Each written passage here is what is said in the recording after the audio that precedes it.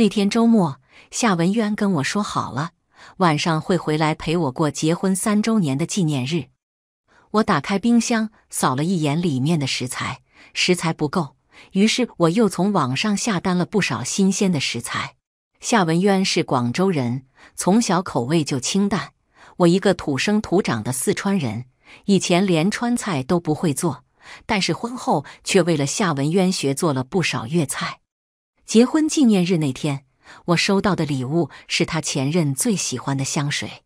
我动手术那天，他飞去美国给他前任举办庆功宴。我躺在病床上，还没出院的时候，他打电话过来要离婚。我简单的回了一个好字。那一刻。我竟感到如释重负。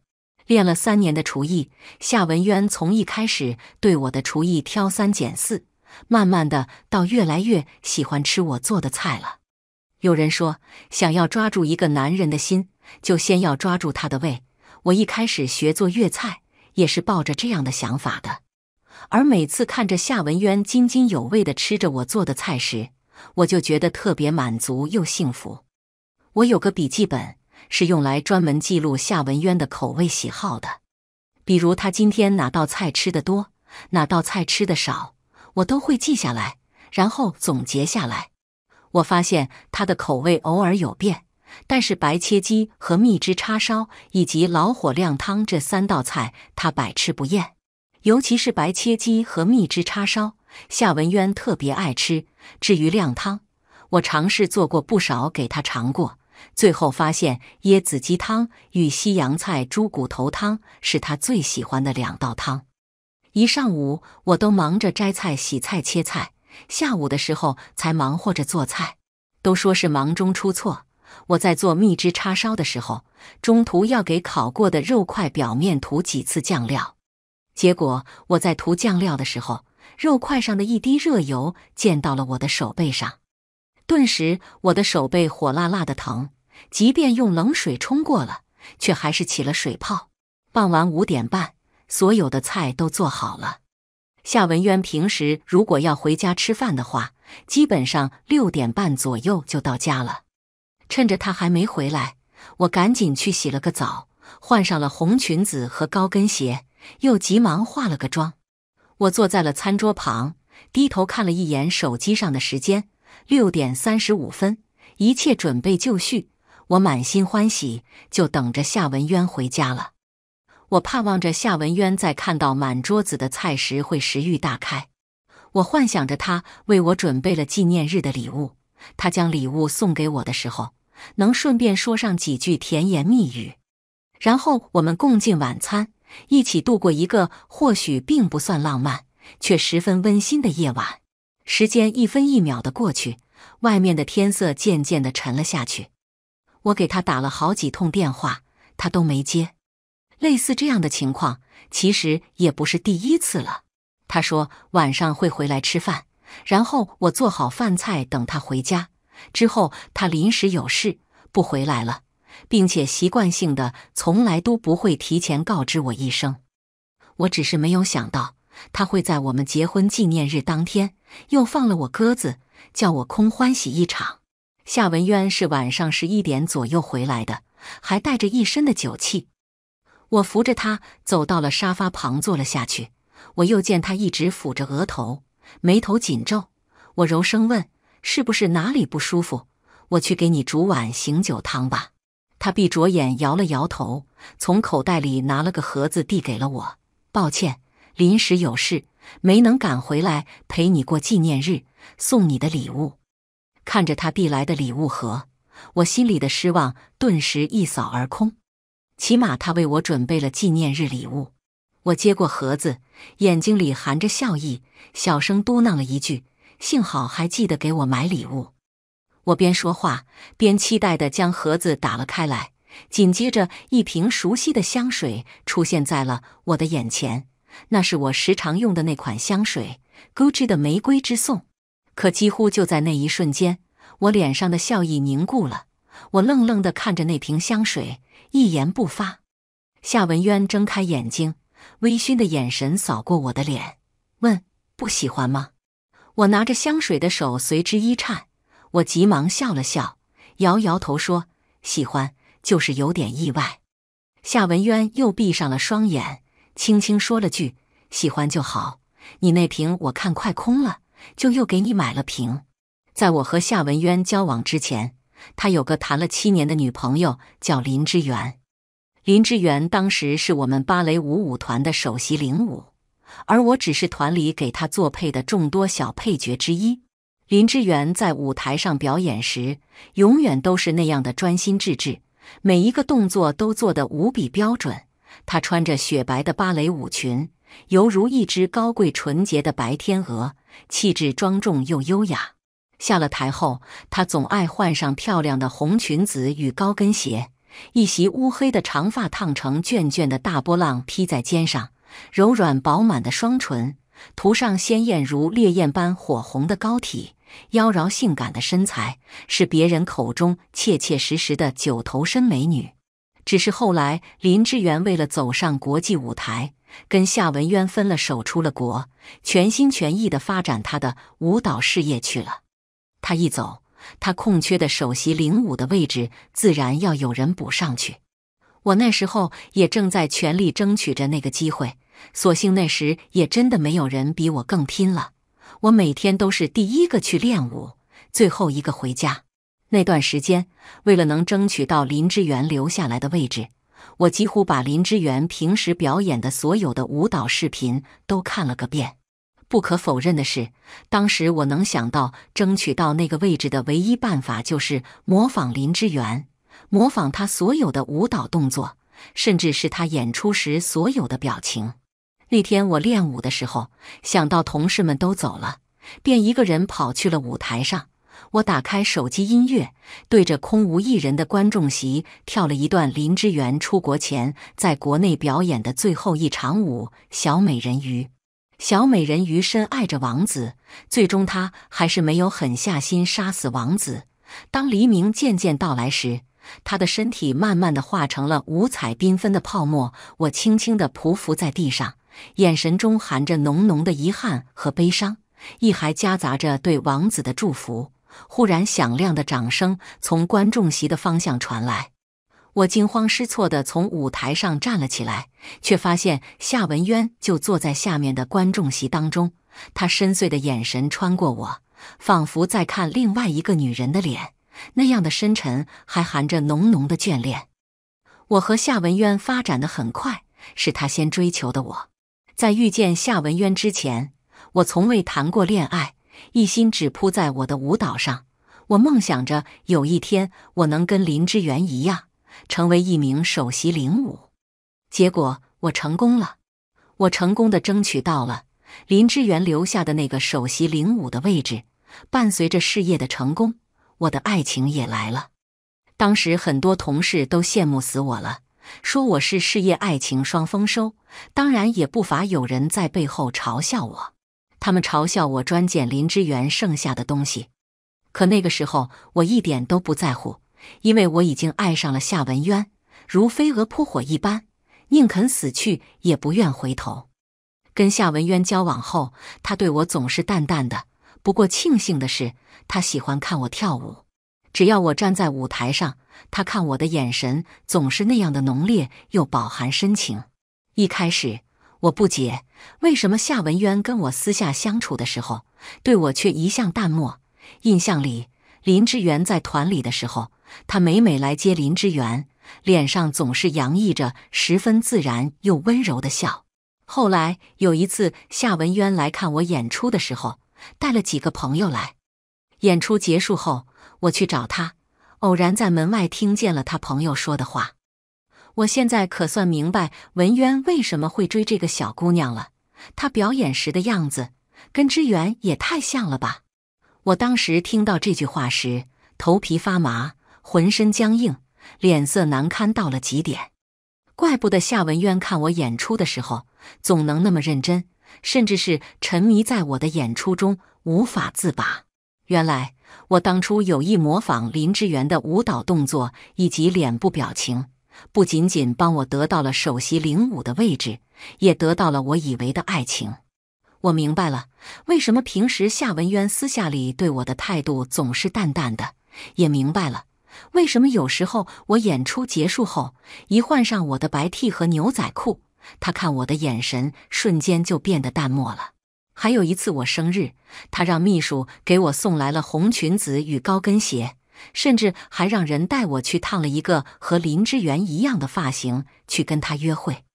那天他对我的态度明显亲密了许多，我那天真的高兴坏了，因为夏文渊主动牵了我的手，亲吻了我，甚至还把我带回了家。只是当真相就那么猝不及防的在我面前揭开时，我才想起来，林之源平时最爱穿的就是红裙子和高跟鞋，他一袭乌黑的头发。烫成了大大的波浪卷，披在肩上，像极了一朵绽放着的火红玫瑰，热情奔放，还夹杂着浓浓的诱惑。可笑的是，当时陷入爱情里的我，非但没有因此跟夏文渊分手，反而开始恐慌、害怕。我害怕，如果我不像林之源了，他会不会就不要我了？我仿佛魔怔了一般。从那时起，不仅仅在舞蹈上刻意模仿林之源。就是从平时的穿衣打扮上也开始模仿他。有一次，我下了台，刚好听见几个同团的小姑娘在议论我：“你们不觉得苏暖越来越过分了吗？平时演出的时候模仿林之源也就算了，现在就连私下里的穿衣打扮都开始模仿他了。”我记得我当时听到这话的时候，转过身便落荒而逃。那时候的我。难堪羞愧，脸颊涨得通红，就仿佛被人狠狠地扇了一个大耳刮子，火辣辣的疼。原来所有人都知道我在模仿林之源。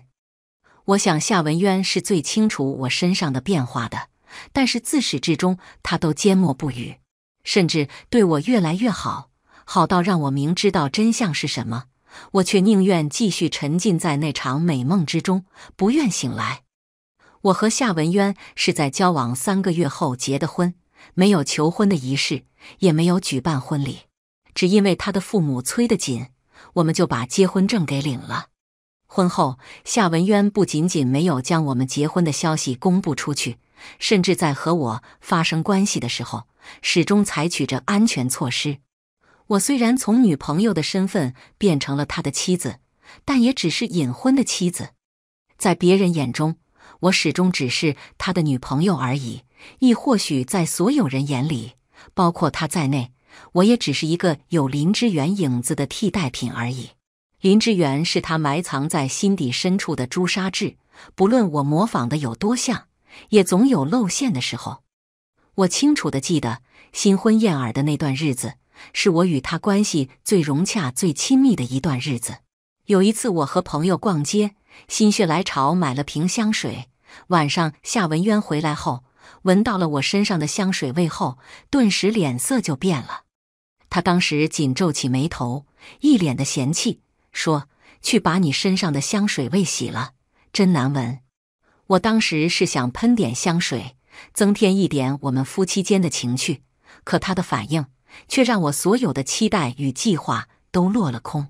后来我想到林之源也有用香水的习惯，我曾在化妆间见他用过，而且每次离他近的时候，我都能闻到一阵淡淡的玫瑰香。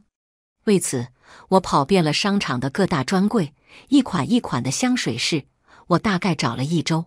期间，我一闻到玫瑰香就恶心想吐，但终究我还是找到了林之源以前爱用的那款同款香水 ——Gucci 的玫瑰之颂。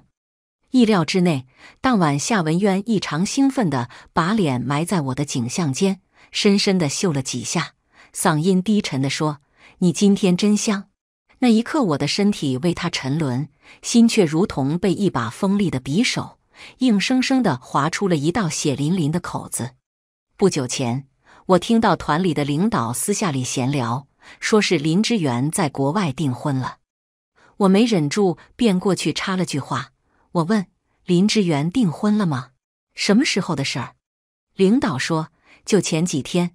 我想想啊，前几天是多少号来着？我鬼使神差的说十一月二十号。领导当即笑了起来。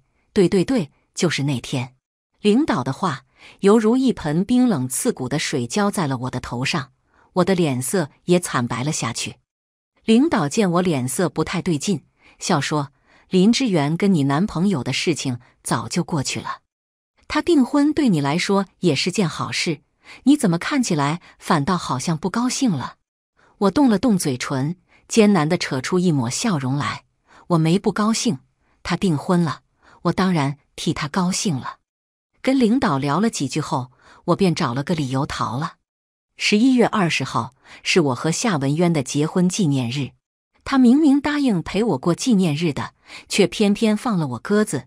后来他那么晚回家，还带着一身的酒气，甚至他送我的结婚纪念日礼物都跟林之源有着莫大的关系。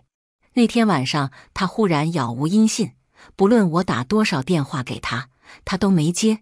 那个时候，他应该是得知了林之源订婚的消息了吧？所以，他所谓的临时有事，对我不管不顾，只因为他被林之源订婚的消息给刺激到了，他伤心了，难过了，甚至是后悔了。我把模仿林之源这件事情，已经深深的刻进了我的骨子里。可我到底不是林之源，我模仿得了他的舞蹈、面部表情和穿衣打扮，却始终模仿不了他张扬独立的个性。我的性子实则更加偏向含蓄内敛。我在夏文渊身边偶尔流露出的羞涩与慌乱，倒也从未叫他厌恶过。我甚至还会引得他哈哈大笑，继而他把我使劲的揉进怀里，狠狠的折腾我一番。林之源可以为了事业放弃爱情，可我却可以为了爱情放弃一切，卑微也好，卑劣也罢。只要夏文渊能在我身边，只要他能多看我一眼，当我发现夏文渊有时候也并不厌恶真实的我之后，我也有试图让他多接受一下林之源影子之外的我。林之源不会做菜，我会；林之源一向独立自主，我乖巧顺从。林之源喜欢跟他走在一起的时候，挽着他的胳膊，而我则喜欢把自己的手塞进他的掌心里。然后偷偷的张开手指，和他十指紧扣。我曾认为，只要夏文渊不离开我，哪怕让我模仿林之源一辈子，我都可以。可我低估了我对他的感情，我对他的占有欲已经强烈到了，不管是他的身体还是他的心，都只能是属于我一个人的。一想到他的心里还想着林之源，我就难过的快要窒息了。我极力的将我所有的悲伤和痛苦都压抑在心里，可紧接着夏文渊还是给了我致命的一击。他忽然跟我说要去美国出差，大概要去一个月。美国那是林之源在三年前放弃了他，不惜代价也要去到的那个国家呀。那天一早，我和往常一样，帮夏文渊准备好了行李，然后站在他的面前。一边帮他整理衣角，一边和他有一搭没一搭的聊着天。我问他：“什么重要的项目，一定要你亲自去吗？”夏文渊目光微闪，淡淡的笑了笑：“嗯，我不去，问题处理不了。”我微微垂下眼睑，抿了抿干涩的嘴唇，心跳的异常的快。半晌，夏文渊伸手抱了抱我说：“一个月就三十天而已，我很快就回来了。”我略显苍白的脸上划过一道淡淡的笑意，可忽然我感觉胃里有些不适，我没忍住，捂住嘴，转过身去，干呕了几口。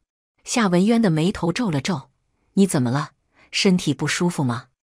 我已经有将近四十天没来例假了。虽然我和夏文渊每次在一起都有采取安全措施，但是意外也是有可能发生的。我压下胃里的不适，打趣他问：“你说我要是怀孕了怎么办？”夏文渊几乎下意识的沉下了脸，触及到他晦暗的目光，我的心里猛地一咯噔。片刻后，他轻轻的勾了勾唇角，抬手揉了揉我的头发，笑了一声说：“不会怀孕的，每次做我都有分寸的。”几乎在那一刹那，我的心沉入了谷底。夏文渊不希望我怀孕。夏文渊拖着行李箱走了，我看着他的背影，眼圈逐渐泛红。我无声的问：“可以不走吗？”可他决绝的背影告诉我，他必须去，因为那里有他深爱的女人。再迟一步，他恐怕就要彻底失去那个人了。关上门后，我忽然瘫软在地，泪如雨下。可很快，我的胃里又泛起了恶心，我一阵一阵的干呕，呕得太难受了。我崩溃的哭出了声音。后来又实在觉得太痛了，便又撕心裂肺的开始笑。我像个疯子一样。歇斯底里的发泄着我的情绪，狼狈又绝望。我这个模仿了林之源三年的山寨货，终于要被他抛弃了。精疲力竭的时候，我把自己蜷缩成一团，脸埋在双膝上，像一只受了伤的小猫，一边垂着脑袋舔舐着自己的伤口，一边小声的呜咽着。我跟团里请了个长假，因为我不确定我是不是真的怀孕了。我甚至还幻想着。或许夏文渊会改变主意，回到我的身边。或许他就算是暂时不想要孩子，但是这个孩子来了，他也会慢慢的改变主意的。我的情绪越来越不稳定，一边往好的地方去想，一边又担惊受怕着，害怕他真的不要我了。在我最彷徨、最无助的时候，我一个远在家乡四川的发小给我打来了电话，他说他报了个旅行团。过几天要来广州玩，想跟我见一面。电话里，我把心里所有的委屈和痛苦都诉说给了发小听。结果他当天下午就买了飞机票，来了广州，找到了我。次日一早，发小就带我去了医院做检查。医生开了两张单子给我，一个验血的，一个验尿的。结果显示，我的确怀孕了。看到结果时，我的心里像是有根线在两头撕扯，我不知道该高兴还是该难过。我想了想，决定还是要把这个消息告诉夏文渊。我拨通了夏文渊的号码，他的手机是通的，可是却一直无人接听。我想了想，又给他随行的秘书打去了电话。很快电话接通了，苏小姐，您找我有事吗？秘书问。我说：“文渊在吗？”我有话要跟他说，秘书的语气支支吾吾的，有些为难的说：“夏总现在有些不太方便。”我的心几乎下意识的沉了下去。片刻后，我故作平静的问了句：“是林小姐不让他接我的电话吗？”秘书讪讪的笑了笑：“您别误会了，只是今晚的林小姐的庆功宴，她喝多了。”夏总刚把她送走，我挂了电话，眼泪啪嗒一下。止不住的开始往下掉，之后我浑浑噩噩的被发小带去了医生办公室。医生看完检验单后，神色十分严肃，紧接着又给我安排了一次 B 超检查，结果却显示我虽然怀孕了，却只是宫外孕。我当时都懵了，我怀孕了呀！我的肚子里有了一条鲜活的小生命了，怎么就是宫外孕了？我哭得浑身颤抖。我问医生会不会查错了，不一定是宫外孕呢？医生别过了脸，柔声说：“姑娘，你还年轻，现在去把手术做了，我跟你保证，对你以后怀孕一定不会有任何影响。可如果再迟下去，就算能保住你的命，但是你可能就要面临切除输卵管的风险了。”整个手术的过程我都没有半点感觉，麻药让我睡了过去。手术结束后，手术室的护士叫醒了我。我睁开眼的一刹那，脑袋里一片空白，眼神空洞的望着天花板。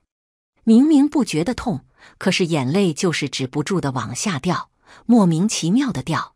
奇怪的却是，我不过是在鬼门关门口走了一圈，孩子没了之后，我对夏文渊的爱忽然就淡了。曾经我的心里塞满了他。可如今我的心却像是被捅了个血窟窿，血流尽了以后，只剩下了一片空荡荡。术后第二天中午，我躺在床上，发小给我买了个平板，然后找了部好看的电视剧让我看，帮我转移注意力。我搁在一旁的手机忽然响了起来，手机屏幕上出现了“老公”两个字，我按下了接听键。电话里传来了夏文渊那低沉还略有些沙哑的声音。他说：“我们离婚吧，我不能没有他。”我微微愣了一下，在听到他主动提离婚的时候，我的内心竟然毫无波动。那是一种什么感觉呢？就好像是我准备出门，在小区里遇到了一个不是很熟的邻居，邻居随口跟我打招呼，问了我一句：“出去玩呀？”我几乎都不用经过大脑思考，便回了一句：“是啊。”我轻轻地动了动嘴唇，那一刻心如止水，眼睛里非但一滴泪水都没有落下，反而还有一种解脱的感觉。我回他：“好。”电话那端。夏文渊忽然沉默了片刻，我又问：“没别的事，我就先挂了。”“嗯，好。”他回道。我在按下挂断键的时候，仿佛听到他说：“等等。”但是电话已经挂断了。挂了电话后，我转头看着发小，我深呼吸了一口，然后笑着说：“等我身体好了，陪我去吃顿红油火锅吧。三年了，快馋死我了。”一个月后，夏文渊回来了。他是带着林之源一起回来的。他回来后做的第一件要紧事就是跟我一起去民政局拿离婚证。那天我穿了一件白 T 和一条牛仔裤。我是和夏文渊在民政局大厅门口碰的面。他看见我时，明显的神色一滞，可能是不习惯我穿的那身衣服。领证的过程很顺利。我出示了一个月前夏文渊跟我提离婚，而我答应他的聊天截图。工作人员认可了我们双方的一个月的离婚冷静期。没多久，我们便拿到了离婚证。走出民政局后，我和夏文渊站在一起。他说：“要不一块吃个饭吧？”我说：“不用了，我约了朋友，中午去吃火锅。”他诧异道：“火锅？”我笑道：“是啊。”虽然三年都没碰过火锅了，但我可是土生土长的四川人，火锅可是从小吃到大的。一辆出租车开了过来，我笑着说：“我打的车来了，再见了。”他怔怔地看着我，眼中却忽然涌现出不知名的情愫。我打开车门，刚准备上车，他忽然喊住了我：“还能做朋友吗？”我转头看着他，脸上的笑意更甚。不能。我曾经以为，如果让我跟夏文渊离婚，那一定比死更难受。可真的走到了那一天，我却发现，离开了他，我得到的却是一片海阔天空。我当初虽然是模仿林之源才拿下了团里的首席领舞，但我也有自己跳舞的特色与心得。新的生活，新的开始后，我在新的演出中融入了自己的感悟。并且一改我以往模仿林之源跳舞的动作，大胆的用了我自己想要表现的形式。我在上台前考虑过，如果我失败了，那就从头开始；如果我成功了，那从今以后我就可以彻底摆脱林之源的影子了。可想而知，当我一改往日的表演风格时，我的身后有多少人被我给吓坏了？我的老师，还有团里的领导。甚至是我的队友们，他们生怕我把演出给搞砸了。但意料之外的是，当我表演结束后，收获的是台下观众无比热烈的掌声。我甚至听见有熟悉我的观众说：“没想到苏暖竟然改变了以往的表演风格，太惊艳，太让人惊喜了。”我曾以为将芭蕾舞跳到林之源那样的程度已经是极致了。我曾仰望着他。并以为我一辈子都达不到他的高度，但我低估了我的能力。当我不再模仿林之源，当我开始用自己的风格去表演的时候，我被认可了。为了能拓宽我的舞蹈事业，我开始尝试新的表演方式。先前为了夏文渊，我一直不愿意跟异性一起上台表演双人芭蕾，因为双人舞里包含了很多亲密的动作。但现在离开了夏文渊。我就再也没有任何顾忌了。我主动跟我的老师提出要尝试双人芭蕾，很快老师帮我安排了一个团里最出色的男搭档。年底前我们要去北京参加一个国家级的芭蕾舞演出，团里直接把这个机会给了我和我的搭档。我们挑选了《梁祝》作为表演的故事背景。众所周知，《梁祝》的爱情故事缠绵悱恻。凄美哀婉。我和我搭档平时排练的时候，就不免产生很多的肢体接触。一开始我有些排斥，但是我的搭档很温暖，他一直在鼓励我，并没有因为我先前的排斥对我心生芥蒂。我和他的默契渐渐的越来越好。排练了将近两个月后，我们终于迎来了那场重要的演出。从广州来到北京，我站在国家级的舞台上，台下坐满了观众。观众当中不乏很多名家老师，甚至还有很多来自全球各地的芭蕾舞舞团的名人舞蹈家。不过，我怎么都没有料到，那场演出夏文渊也在观众席之列。上台前，我的搭档抱了抱我说：“别紧张，我们一起加油，好好跳。”两个月的合作练习，我和我的搭档已经培养出革命的友谊来了。我也拍了拍他的肩膀，笑了笑，说：“一会儿别担心会冒犯我，放开眼，我一定全力配合好你。”那场演出是我舞蹈事业生涯中尤为重要的一个转折点。我和我的搭档表演至结尾的时候，故事里梁山伯与祝英台化成了蝴蝶，双宿双栖，而我的男搭档用双手将我托起，在空中旋转，看似轻盈的动作。实在却需要他用上十足的力气与我配合，最终我们完美的将最后一幕化蝶表演的淋漓尽致。谢幕时，我们赢得了观众热烈的掌声，甚至是激动又热情的欢呼声。我和搭档下了台后，激动的抱在了一起，因为太激动了，我甚至忍不住流下了喜悦的泪水。这场表演表演的好不好？就算观众没有给我们反馈，我也知道，我们都尽了全力。忽然，老师走了过来，喊了我一声：“苏暖，有人给你送花来了。”我愣了一下，循着老师的目光看去，我看见夏文渊捧着一束鲜艳的玫瑰朝着我走了过来。夏文渊把花递给了我，眼睛里溢满了极致的温柔。他说：“祝贺你，你今天表演的很棒。”我错愕的看着他，他怎么来了？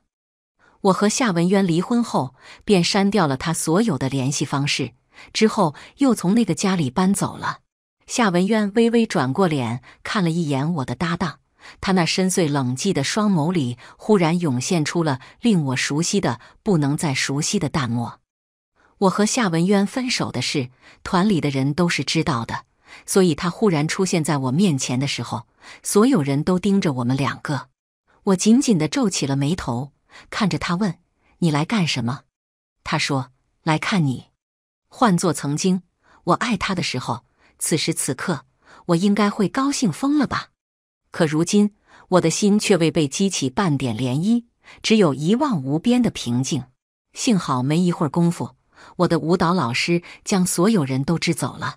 他喊我的搭档走时，我搭档拍了拍我的肩膀，笑着跟我说了一句：“别忘了，我可是你最坚实的后盾。谁要是欺负你，就跟我说。”我笑了笑说：“好，你先出去吧。”之后屋子里就只剩下了我和夏文渊单独两人。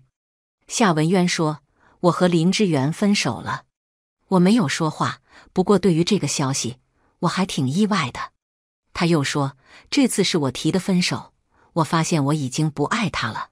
林之源是他心头的朱砂痣，我曾用尽手段，都没有让他在夏文渊心里的地位松动过分毫。夏文渊现在却忽然跟我说他不爱林之源了，他难道不是在跟我开玩笑吗？他看着我。”眼睛里又涌动着当初我们离婚后，在民政局门口即将分道扬镳时，我看到的那抹不知名的情愫。他说：“苏暖，我们复婚吧。”离婚后，我才知道我有多不习惯。我才发现，原来你早就悄无声息地走进了我的世界里。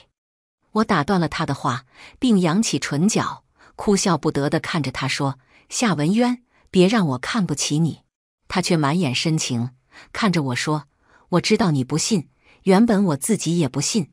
我给了我两个多月的时间去调整，可是我失败了。当我每天晚上回到那个曾经有你在的家时，我满脑子浮现的都是你的影子。和我沈笑了一声，说：“那林之源呢？你为了等他回来，跟我结婚后一直不肯要孩子。他订婚后，你害怕失去他，抛下了我，去美国陪了他一个月，最后又为了他跟我离了婚。你明明那么爱他，现在说不爱就不爱了。”夏文渊的脸上涌出了浓烈的愧疚。他说：“他是我曾经的执念，我也以为我一直爱着他。”可是真的失而复得后，我才意识到我错的究竟有多离谱。跟夏文渊认识三年，他从未在我面前如此低声下气过。可看着这样的他，我只有满心的讽刺与不耐烦。我皱着眉头说：“抱歉，你说的这些我都不感兴趣，我先走了。”说完，我抬脚便走，他却急忙追了上来，紧紧的捉住了我的手腕，说：“你可以给我一点时间。”我会证明给你看。我们复婚后可以多要几个孩子。我还记得你问过我，你要是怀孕了怎么办？你是想要孩子的不是吗？他提到了孩子，殊不知孩子在我的心里是最大的禁忌。我几乎毫不犹豫地抬起手，用了十足的力气，狠狠地往他的脸上甩了一个响亮的耳光。他错愕地看着我，不明所以。我却在那一刹那泪流满面。我说：“夏文渊，你这辈子都不配在我面前提及孩子这两个字。”那天晚上，我结束演出，回到了酒店的房间后，没忍住大哭了一场。为了祭奠我那三年任性又卑微的爱情，也为了那个与我无缘的孩子，夏文渊没有对我死缠烂打。这件事情倒挺令我意外的，不过也让我舒心了不少。忽然某天深夜，我的手机响了。是一个陌生的号码打来的电话，我接通后听见了那道熟悉却又醉醺醺的声音，说：“苏暖，我错了，你回来好不好？我陪你去吃火锅，陪你去吃冒菜，陪你去吃很多很多你喜欢的川菜，好不好？”我说：“你大半夜的发什么疯？”夏文渊一会儿哭一会儿笑，他说：“我在家里找到了一个笔记本，上面密密麻麻都是你写的字。”我不知道，我真的不知道。原来你那么好，好到让我羞愧。你说我以前怎么就那么没良心？我怎么对你那么坏呢？我挂了夏文渊的电话，把手机直接关机，之后将自己蒙在了被子里，一夜无眠。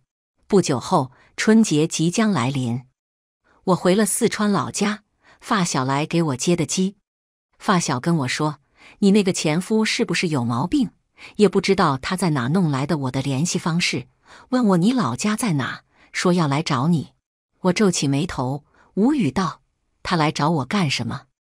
我和他婚都离了，该说的话也早就说清楚了，没必要再见面了。”发小努努嘴，嘲讽的笑了一声：“你好歹跟他结了婚，却还要一直瞒着家里。结婚三年，他一次都没陪你回来看过你爸妈，现在婚也离了。”也不知道他忙活个什么劲，你不知道，我在电话里直接把他骂了个狗血淋头。我愣了一下，问：“你骂他什么了？”发小说：“我骂他在国外跟朱砂痣逍遥快活的时候，却把老婆一个人丢在国内做手术，老婆差一点命都没了。他竟然提出要跟你离婚，他怎么能那么狠心？他就是个狼心狗肺、猪狗不如的东西。”发小说完。眨巴着眼睛看着我，忽然问：“你应该早就告诉过他你做手术的事情了吧？”我抿了抿嘴唇，沉默不语。发小瞪大了眼睛，咬牙切齿道：“你要不要对他那么善良，就该早点让他知道他造了多大的孽，差点把你的命都给弄没了。那件事总归都是我心里最深的伤。”我看着发小，眼眶红了一圈，说：“以后别再提那件事了。”我这辈子都不想再回忆了。发小吐了吐舌头，伸手搭在了我肩上。今天想吃什么？我请你下馆子。我说回家吃，很久没吃家里的饭了。登机前，我特意给我妈打了电话，让她今天别出去打麻将了。我要吃她做的饭。发小笑了一声，那我今天也去你家蹭饭吃去。我知道，即便没有发小。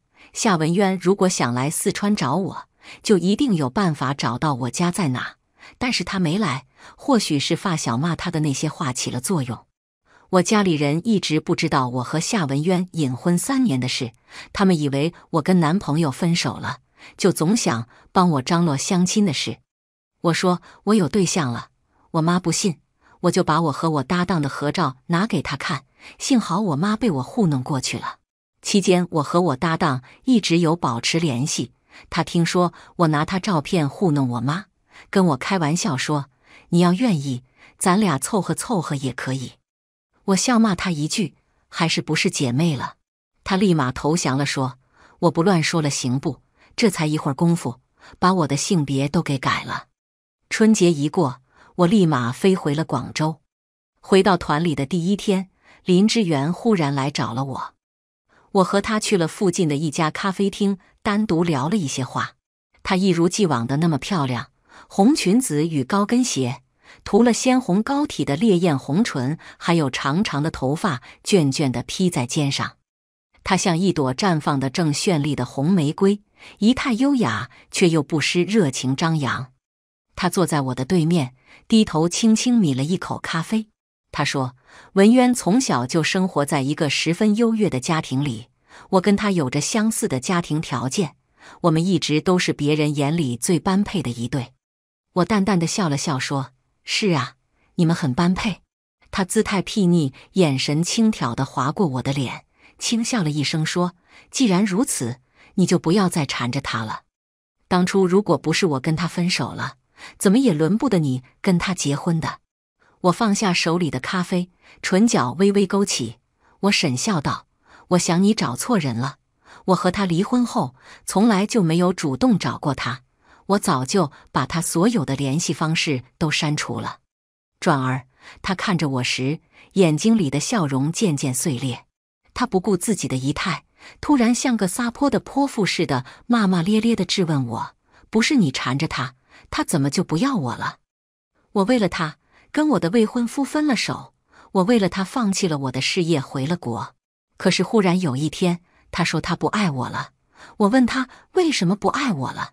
他竟然说他爱上了你，这是多么可笑的事！他既然爱你，为什么还要去招惹我？我看着林之源，忍不住笑问道：“据我所知，这三年你在国外发展的一直都不怎么样。不过你的性子很要强，只要还能撑着，你是轻易不会回来的。所以这次回国，你到底是为了夏文渊，还是因为你在国外的事业已经撑不下去了呢？”林之源的神色一僵，他伪装着的面具就这样被我轻易的揭了下来。他咬牙切齿的看着我说：“苏暖，人贵有自知之明，你难道以为我不知道你当初是怎么当上首席领舞的，又怎么吸引了文渊的注意的？”我轻笑了一声：“是啊，都是因为我模仿了你，才得到了你不要的那些东西。”林之源的脸色骤然一变。你怎么能承认的这么理所当然？你当初做的那些事那么卑鄙，那么恶心，你怎么好意思在我面前如此嚣张？我眼神淡淡的划过他那张布满沧桑的脸，说：“我已经为了我曾经的行为付出过了惨痛的代价。你问我为什么理所当然，又为什么嚣张？其实都不是，只是过去的一切，包括夏文渊在内，对我来说都不重要了。”我轻轻的扬起唇角，给了他一个友善的笑容，又说：“林之源，多爱自己一点吧，就和三年前的你一样，可以走的那样潇洒。”林之源却骤然捂住了脸，崩溃的哭了出来。他说：“这三年来，我从来没有忘记过他，我爱他，一直都爱着他。你把他还给我好不好？我后悔了，真的后悔了。”我说。夏文渊从来就不是我的，我亲眼看着这个像玫瑰一样热烈的女人，在我的面前有了枯萎衰败的迹象。他摇了摇头，心灰意冷地说：“他是你的，是你的。我亲眼看见，一向口味清淡、只吃得惯粤菜的他，独自坐在火锅店的角落里，点了一锅红油锅底，吃火锅吃到了胃痉挛。你知道吗？你们离婚后，他住过几次院？”要么就是喝酒喝进去的，要么就是吃那些他的胃承受不了的最辣的饭菜吃进去的。我一言不发的看着他，不知道该说些什么。林之远仿佛自顾自地说：“医生说他的胃已经留下病根了，不能再继续折腾了。你去看看他好吗？劝劝他好吗？”那是个晴朗的一天，我去了医院，见了夏文渊。多日不见，夏文渊的脸色憔悴了很多，下巴周围长了一圈厚厚的胡渣。他削瘦了不少，是被胃病给折磨的。他看见我时，空洞的眼睛里忽然有了光彩。他说：“你来了，我等你好久了。你终于舍得来看我了。”我的心忽然狠狠地抽痛了一下。他不是早就知道我做过手术的事情了吗？他怎么还能厚着脸皮，一副还想与我重归于好的样子？那一刻，我无比的清醒。或许当初夏文渊爱着林之源是真的，如今他爱我也是真的。但是他天生就是一个凉薄、自私、没有半点责任心的男人。